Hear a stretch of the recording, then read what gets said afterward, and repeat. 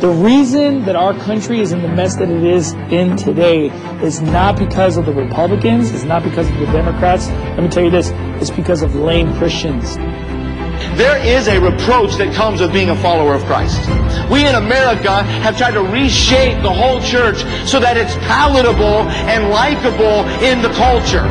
A church that is accepted well with the culture is usually not accepted well with Christ. The church is a fortress, and a fortress is strength. A fortress is might. Not only a center of defense, but a place of strategic planning and offense. Our God does not expect us to wait for the darkness to enclose around us. He expects us to take up His banner and fight the darkness with His light. You want to know what the biggest problem with America is? The pulpits in this country. Gave in, gave in to public pressure, gave in to political correctness. One of the greatest curses this country has ever had to deal with is political correctness. Preparing the Christian to shine the light against the darkness of this world. Welcome to Our Mighty Fortress podcast. I'm your host, Ron Miller, and welcome to the show. We have an absolutely fascinating subject to cover today, but first, please go ahead and hit that follow or subscribe button on the podcast platform which you're listening to us upon. We have several social media platforms with all sorts of material that you can listen to and read. Check us out on our fan page on Facebook. When you type in the search bar the at symbol Mighty Fortress 313, that page is growing more and more every day. If you are listening through our YouTube page, go ahead and click that like button for the video and be sure to subscribe to the channel. It really, really helps us out. You can also visit our website at ourmightyfortress.com. There we have a host of articles, videos, and even a link to our merch store to help support the work. And of course, if you do feel so motivated to donate to the work that we do here, feel free to do so through our website in the established PayPal link. By following and supporting the podcast, you let me know that you care about the subjects that we discuss. Today, I would like to continue our series in ancient Christians, and I want to talk about our ancient historical Christian roots going back through time and show how God Almighty protected and brought up His church. I want to take a step further with the people known as the Waldensians because they, by far, had the most impact upon the European peninsula and into England. Be sure to listen to part one of this series or episode 56, where I give more of a foundation about these godly people. There is not one single history book that I gather all of these sources from, uh, but I'll have to put up a bibliography on the website. That way you can take a look at them. Most of these books are free on public domain. Some of them are kind of tough to get and are kind of expensive too, by the way. But bringing all of these resources together for those who are writing about and maybe favor the Waldenses, but also the resources that are written by their enemies, because you can also learn what they believed and sometimes the lies that are told by what the enemies say. But often you'll hear the truth about why your enemies hate you so much. There are so many outstanding resources on these people but I will say that the more that you study these people, you'll find that the opponents to these people are very pro Catholic or Protestant slash Catholic, I should say, because a lot of the Protestant movement is going back, swinging back to the Mother Church. So a lot of the church history books will write these people off as heretics and believing all sorts of fantasy nonsense. But the problem is, is that you can go and read what they wrote what they believed for yourself. And you can see that as blatant lies. I absolutely love history, and I do believe that history tends to tell the truth. Now, it can be argued that the winners of wars are the ones who write the history books, and there is an element of truth in that. But you cannot hide the truth forever. What do I mean? Take, for instance, a more modern example. Well, relatively modern. You can take a Joseph Stalin and the communist dictatorship of the USSR slash Russia.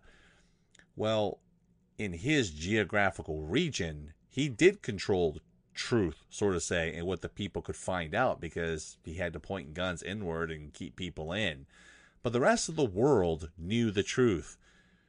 And when those that iron curtain came down, the truth came flooding in, and people knew that they had been lied to.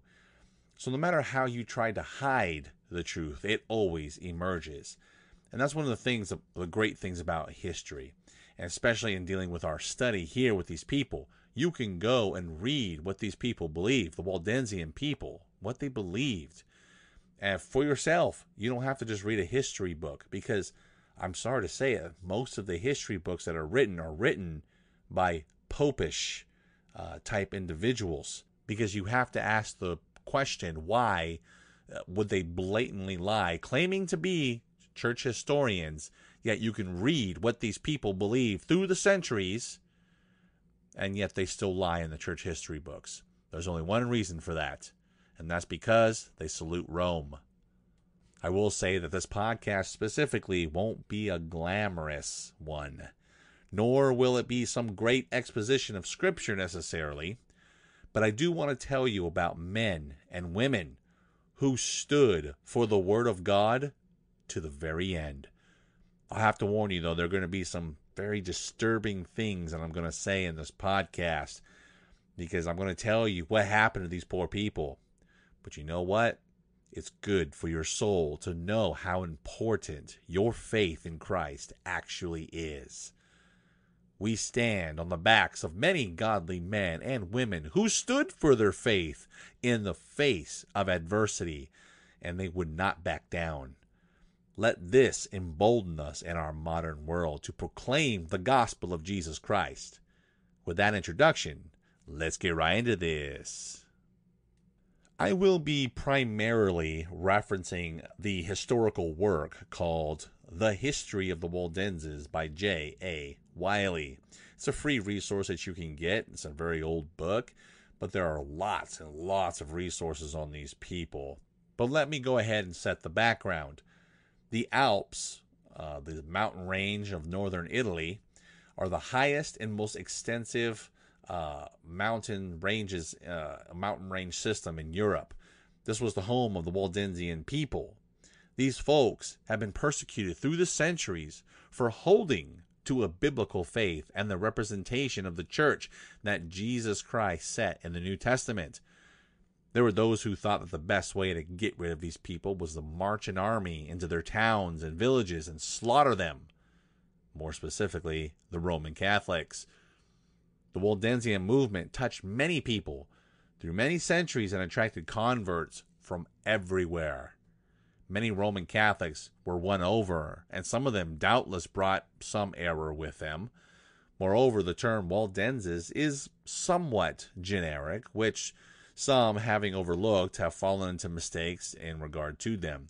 The name embraced peoples living in widely separate lands and they varied in customs and possibly somewhat in doctrines. There was a conference between the poor man of Lombardy and the Waldenses. The Italian and French Waldenses probably had a different origin, and and in the conference they had found that there were some differences between them. What do I mean? It is possible that people who claim to be Waldenses or maybe were in, uh, descendants of the people from the Alps. Maybe they moved further into Italy.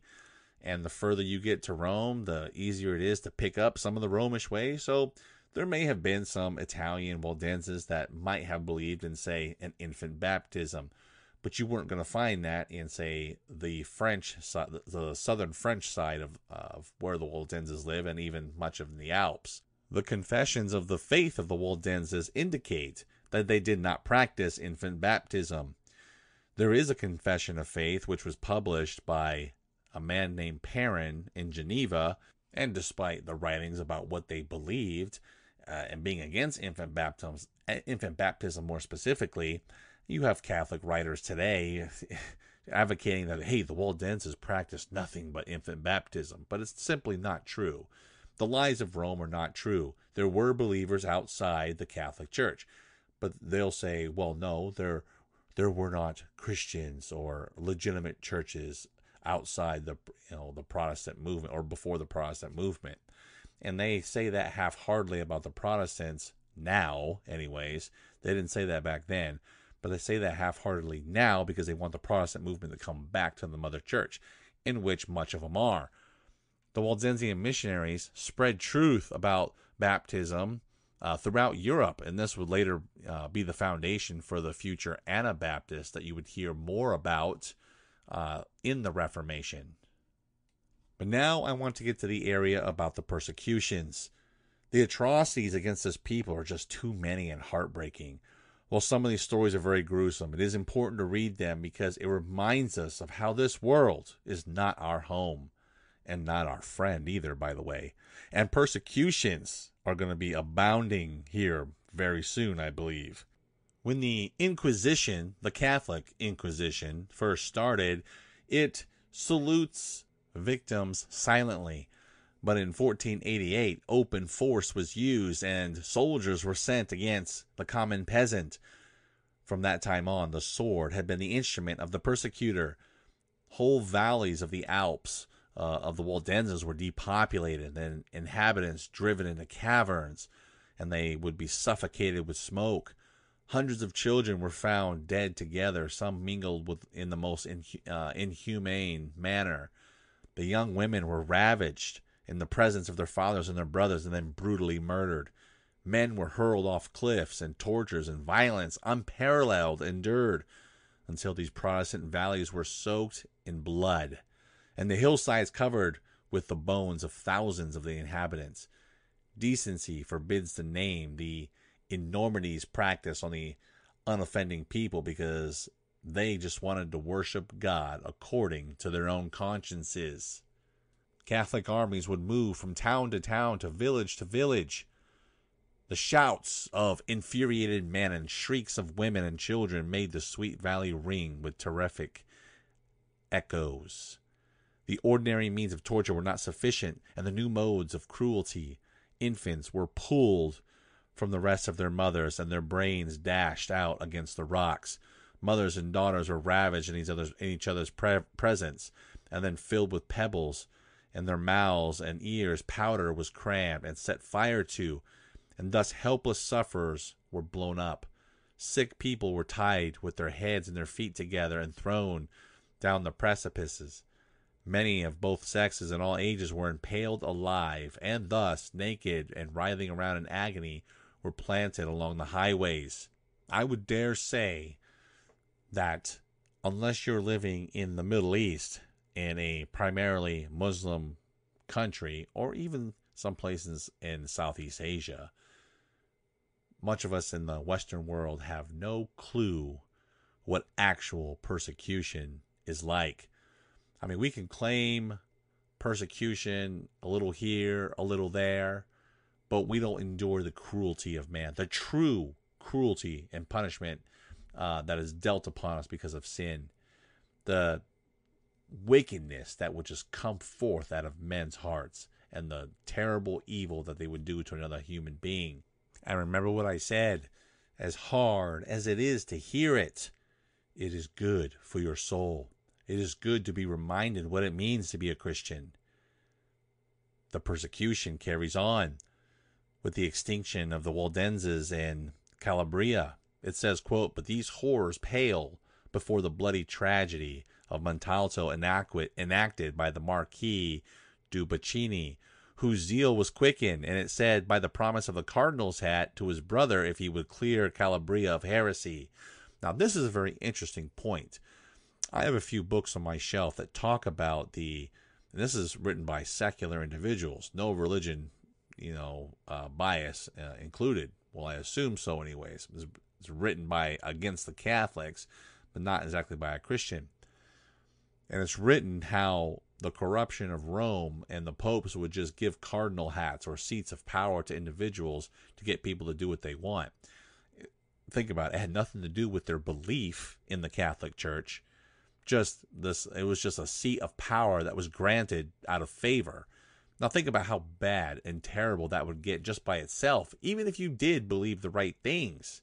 Even if the catholic church was was not the whore of babylon or whatever even if you did believe the right things, granting power to those just out of favor or or not well religious uh, a religious seat of authority anyways just because out of favor not about what they believe. I mean that just all points towards corruption. There's no way around it. The story carries on. A servant described by the letter of this account. Most illustrious sir i have now to inform you of the dreadful injustices which have began uh, to be executed upon these lutherans early this morning uh, being at the 11th of june.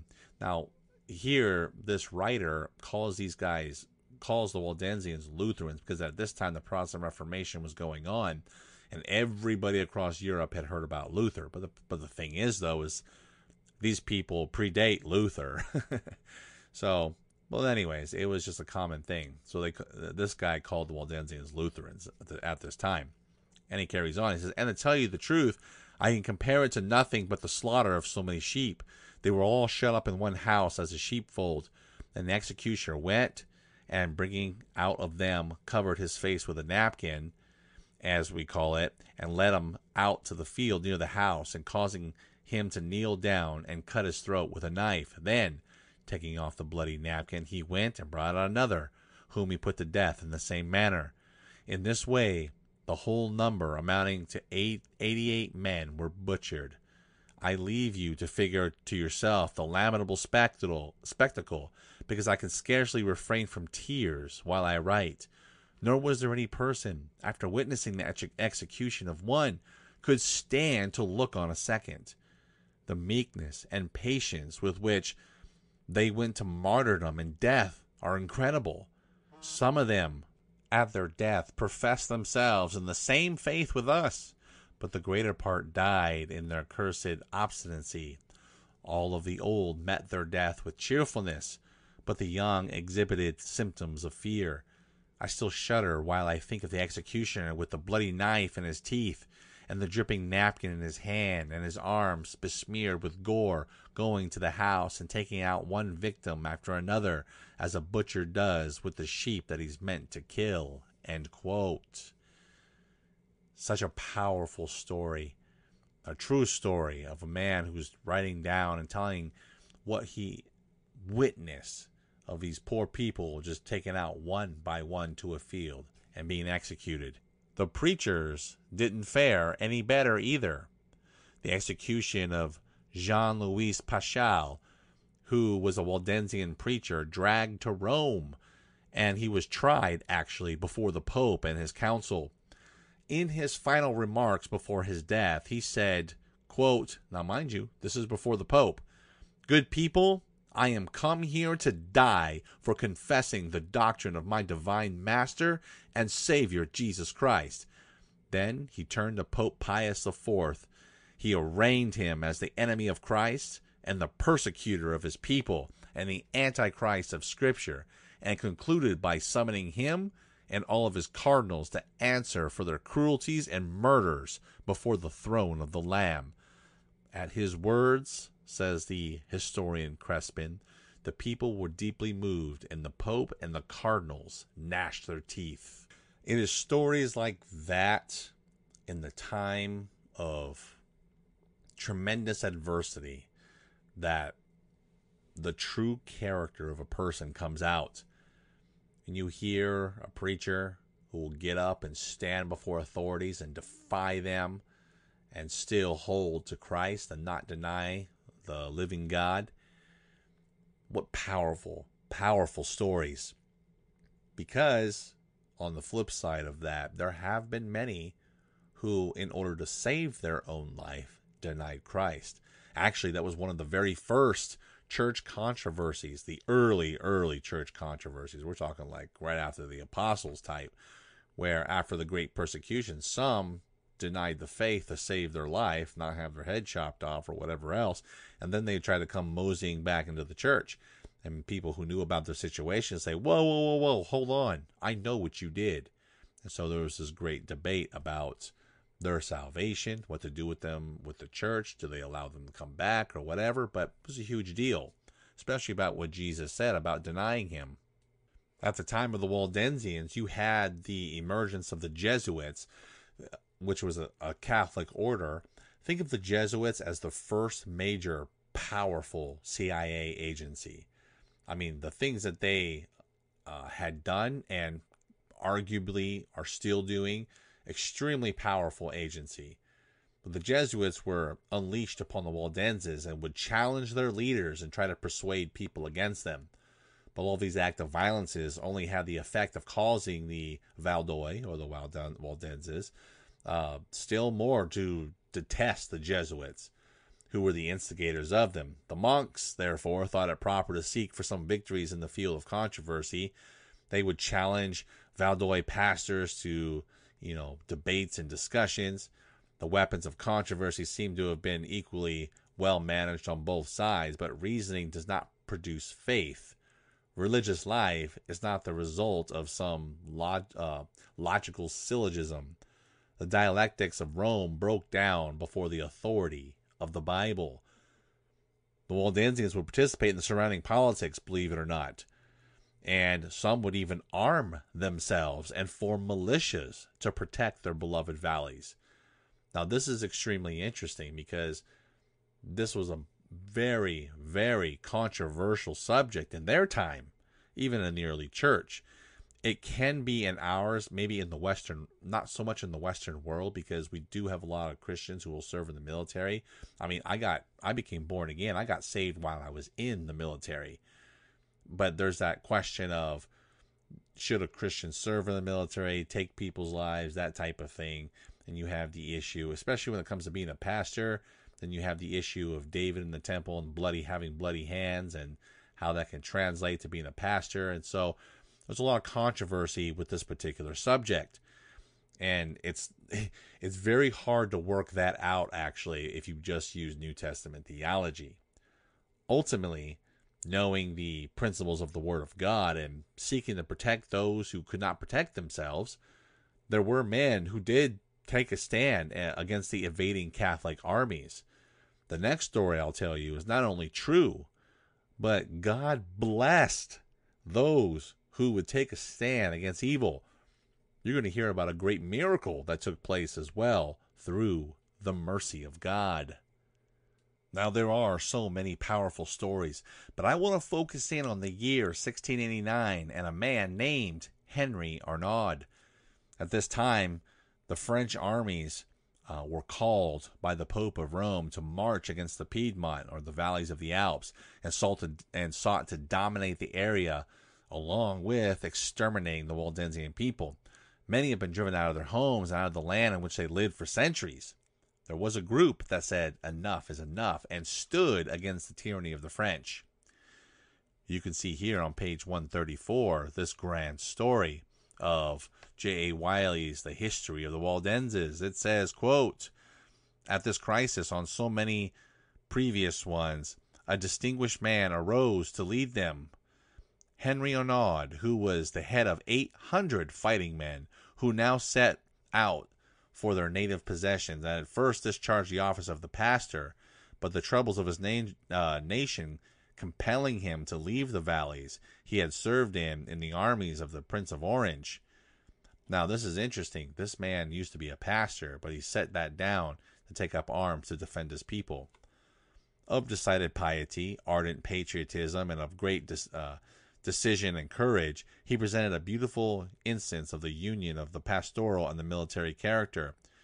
It is hard to say whether his soldiers listened more reverentially to the exhortations he had at, at times delivered to, to them from the pulpit or to the orders he gave them on the field of battle.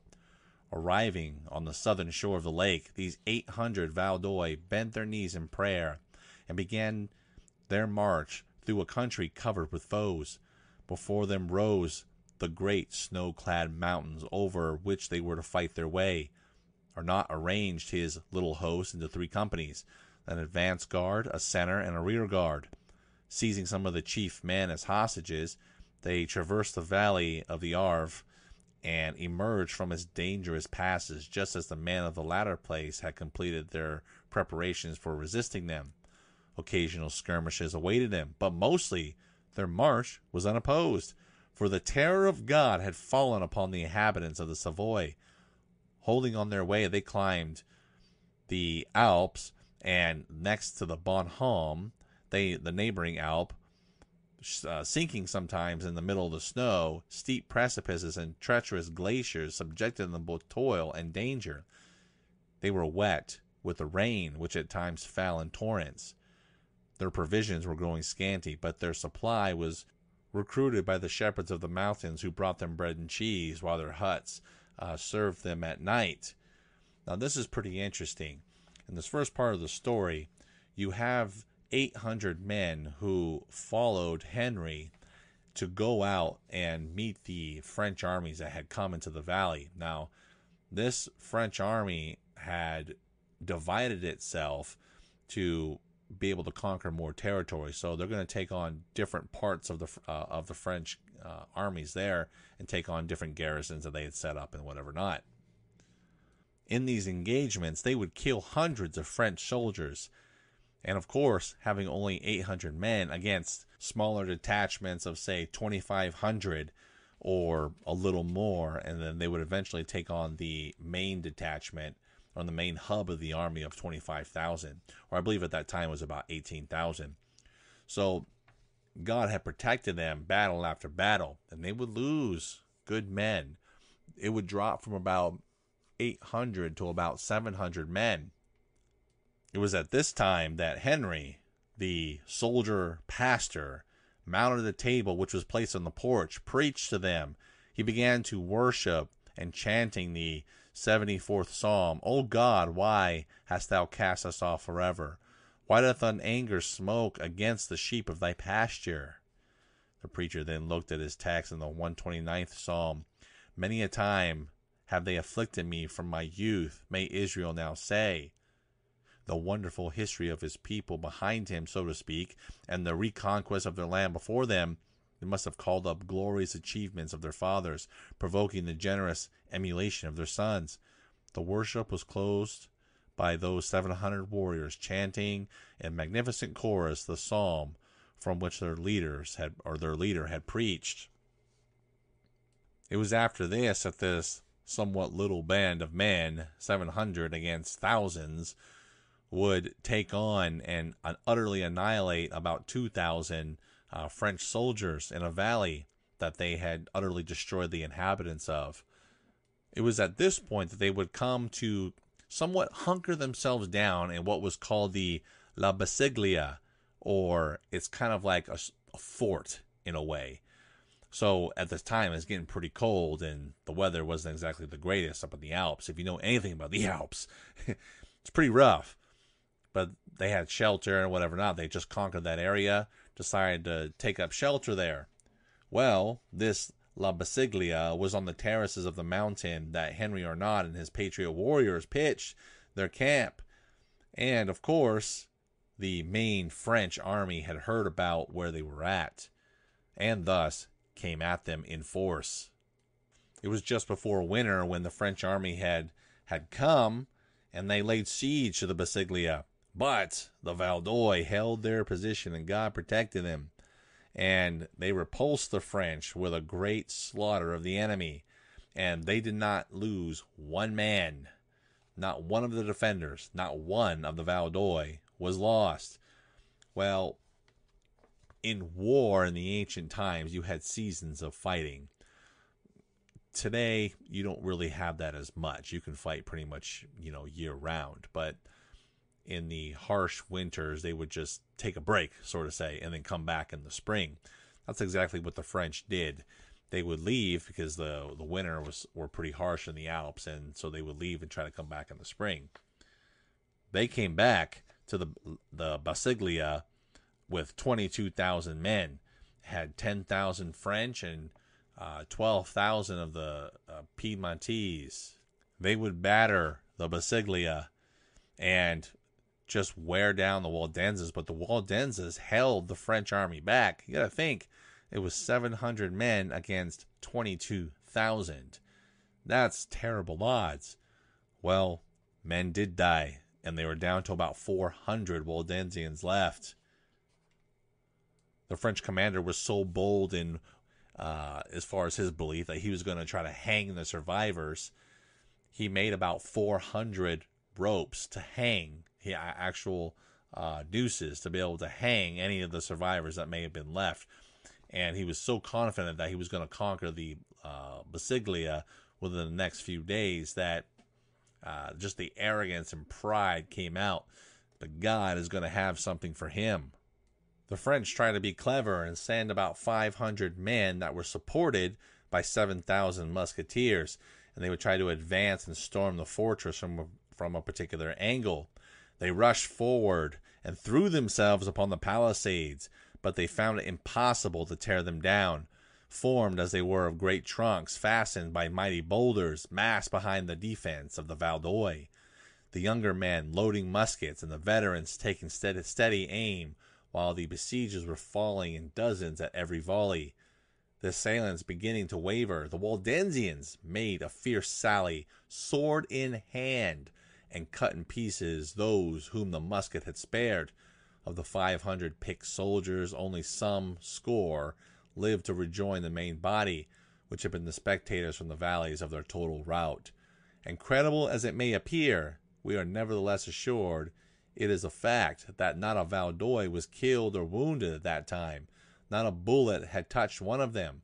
Going back to the Balsiglia, they didn't bask in their victory, though, even though it was a small victory, because the French, having it come to nightfall, decided that they were going to bring out the cannons and just completely blast down the wall. So all through the night, they had the cannons roaring, just tearing into the fort, tearing into the walls.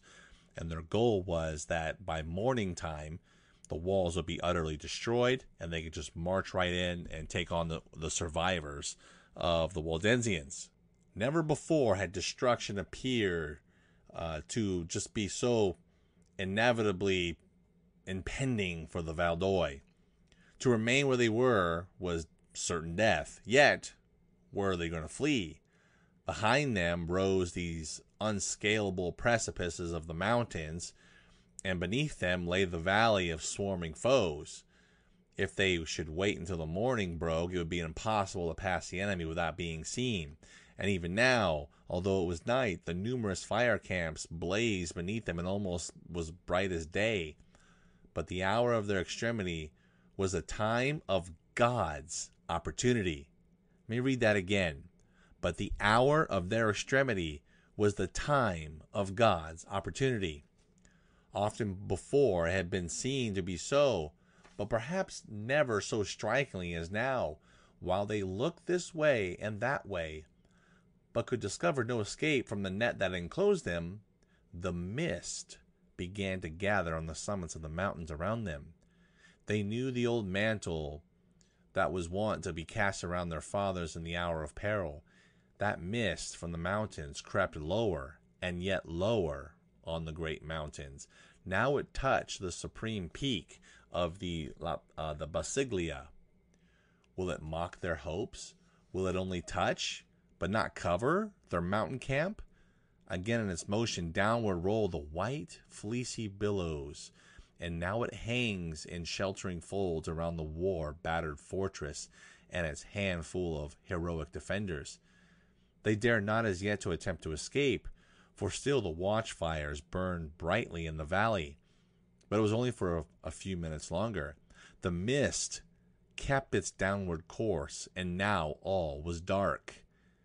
The entire gorge where the army was, the invading army, was filled with the white mist.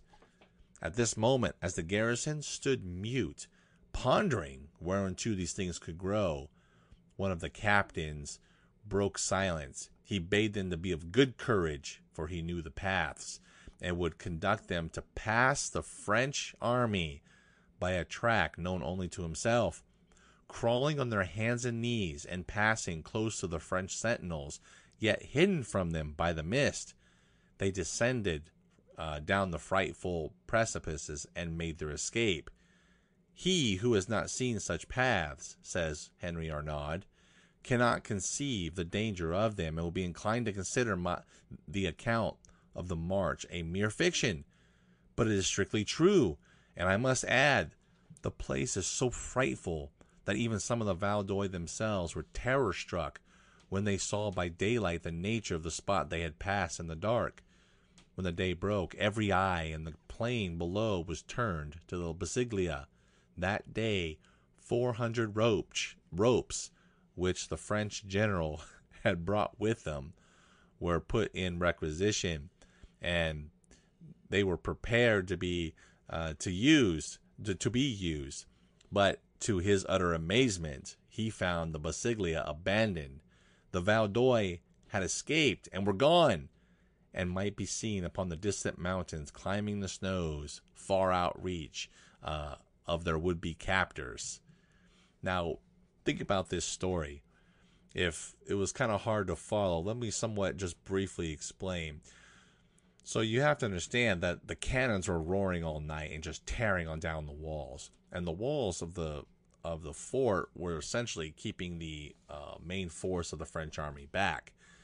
And the way that the army had to climb up the, the steep slope, it was kind of easy for the Vaudois to defend. Well, once the, those walls came down, the men kind of just sighed to themselves, saying, Well, I guess this is it. I guess we're about to meet the Lord. Well, the Lord said, Nope, I still have more for you to do. He caused a mist to descend down from the mountains and just flood into the valleys. Then one of the guys said, Hey, I know a path. And then he took him right around the French army, and the, the mist was so thick they couldn't see. They had no clue that the soldiers escaped right beside them. And so when the sun fully came up and the mist uh, dissipated, they went to go march in the fortress and found it empty. Now that is a miracle of God. And you can look at that in the last part of the story. Uh, it's Henry Arnaud writing, you know, basically he's saying, you know, if I hadn't experienced it, I wouldn't have believed it myself. But it happened. God delivered. Now, why do I tell these stories? Some of it was a little hard to hear. I end, I started with some of the rougher stuff but I did end on a very positive note. What is going to take place in the future of Christianity and the emergence of the Antichrist and how we're going to live through that or, or go through that whole mess? I don't know.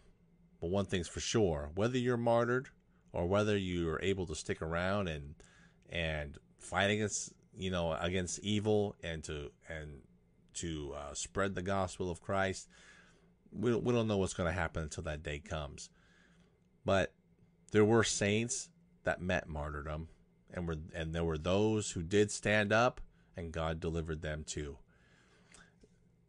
Martyrdom is a blessed thing for the Christian, and God takes that very seriously. But if it's not your time, it's not your time, and God does bless warriors as well.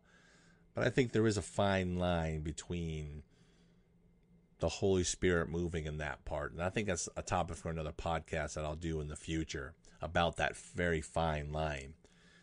But take note of these ancient Christians and take hope that it doesn't matter that the world comes against you in the most minor of situations to the most serious situations where your life is threatened. The Lord will be with you. I want to thank you for listening. And be sure to follow us on the podcast media. Please take a look at our website, ourmightyfortress.com, and subscribe for more updates. Stay tuned next time for more great content, and remember to find your refuge and strength in our mighty fortress.